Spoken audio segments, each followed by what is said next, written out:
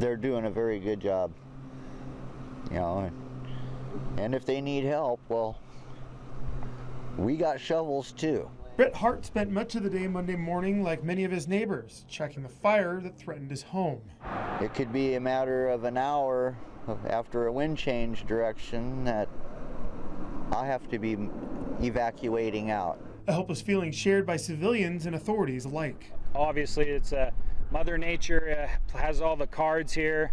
There is some you know, there is some wind today and we're expected that to continue. While no one had checked in as of Monday morning, the American Red Cross had set up their disaster relief refuge here at Columbia High School in Hunters. We do have uh, uh, folks that, that, that have, you know, it's ultimately it's their choice. We can't force them to go, but uh, your property is not worth your life and, and these incidents can escalate quickly.